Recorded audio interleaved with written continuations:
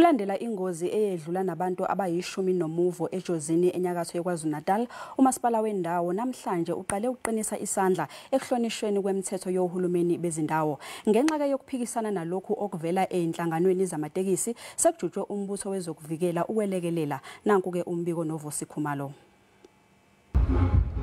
Yebo silapha endaweni yasejozini ngoba siyakhumbula ukuthi ngenyanga uNhlangulana eh iloli lashayisa abantu abashona ujuqu abayishagalombili kwathi lo shagalolunye eh, wafela esibhedlele ngenxa ye-truck eyikade ishawa sani lapha ihamba ibhudluza ishayisa amatekisi ishayisa imoto ezincane kanjalo nabantu ababeyidayisela eceleni komgwaqo.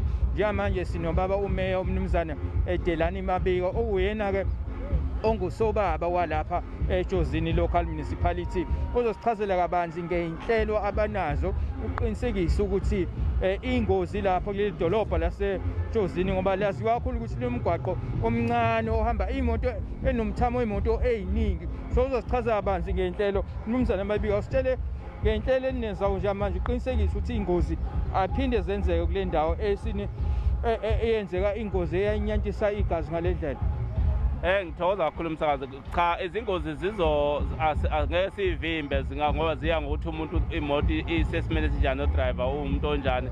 But ithi indaba namhlanje sizothula la ibama bylaws eh la esithathe isinqumo njengomkhandlo wasejozini ukuthi asakheni indlela eyosilekelela ukulekelela ukuthi ukwazi ukusebenzeka ukucontroleka ngakho-ke siwumkhandlo wasejozini sithe namhlanje sizolontsha ama-bylaws lapho esosebenza nabo ukubambisana nama-stakeholders osomabhizinisi osomatekisi abazokuthutha amaloli.